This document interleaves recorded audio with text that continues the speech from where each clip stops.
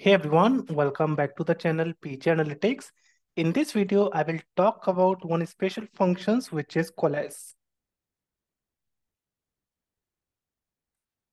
So coalesce is a functions in Oracle that helps to deal with the null values. Now let's see the syntax. So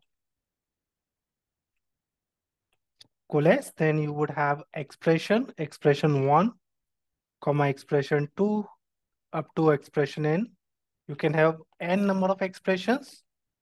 Now, coalesce functions will return the first not null values.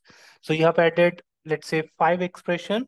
Now, whatever is the not null value, the first not null value in all the expressions, that will come in the output.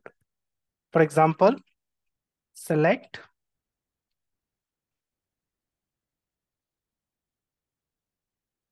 coalesce I'll just add, let's say, null, comma 1, comma 2, comma again null.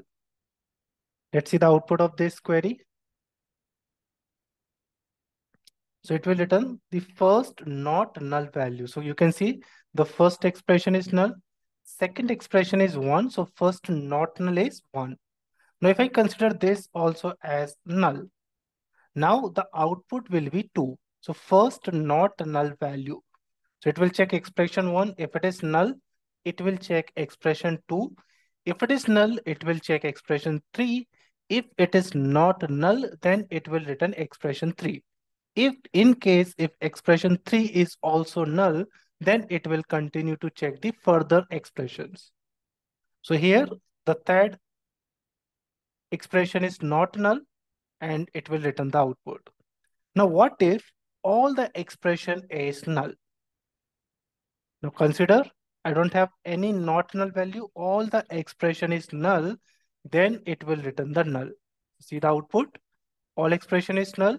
It will return the null. Now very important point about the coalesce function is it works on all different data type.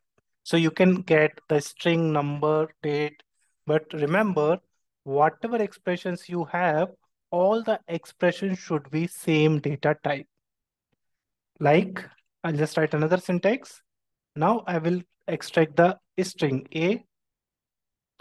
Here I have B. And now you can see A, B, it is a string. 2 is the number. So when I try to write this calc query, it will throw the error. So all the expression should be same data type. Now 2 I can convert to string.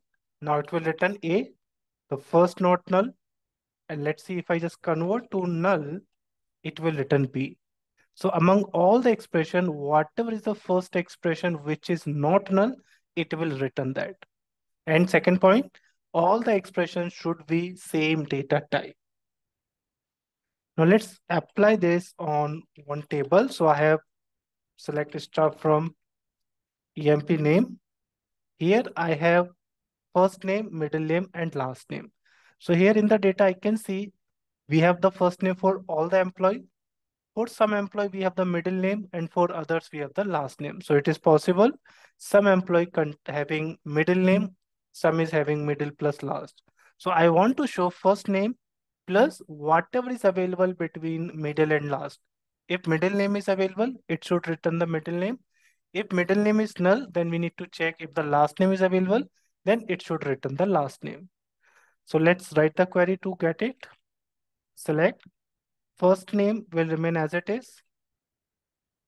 Now between middle and last, I will apply the coalesce functions.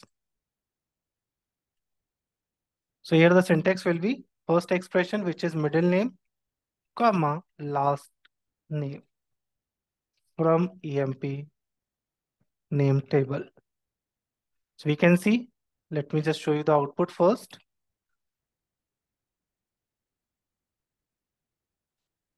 Now this is the data for first name Piyush. I don't have the middle name, so it will return the last name. You can see in the output last name. For second record, Karan, we have middle and last. It will just return the middle name. And for the third, Vivek, we don't have the middle and last. We can see from the coalesce, it will return. So I hope you like the videos and understood this concept.